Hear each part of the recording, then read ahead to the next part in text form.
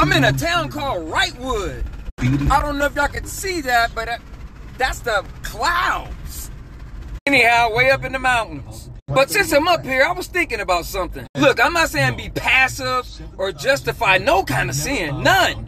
But I will say this let's not forget that none of us really started off on the straight and narrow. Now, I know I don't get it right all the time, but I'm not telling you about me. I'm telling you about the Lord, man. I'm saying He said live holy and live righteous. I got to do what I'm called to do. I'm the messenger.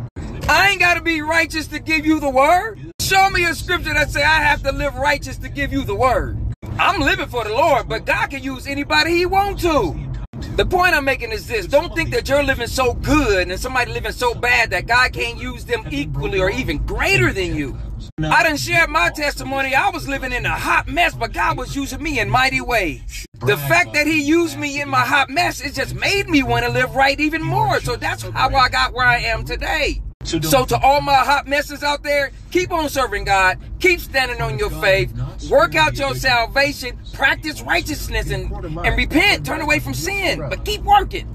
To y'all you think you better, repent and pray for them people, amen. We got to get this right. Oh, I'm going to still talk about sin and stuff, but we got to give the solution to it, not just the problem, amen. Praise God.